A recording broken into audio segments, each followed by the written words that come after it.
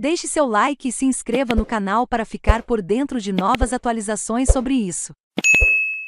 Bar em Curitiba dá 200 cervejas se José e Valdo fizeram um gol nesta quarta, 05. Divulgação Atlético Paranaense e Flamengo se enfrentam nesta quinta-feira, 5 de julho, em jogo válido pelas quartas de final da Copa do Brasil 2023, que começa às 21 horas e 30 minutos no estádio do Maracanã, no Rio de Janeiro.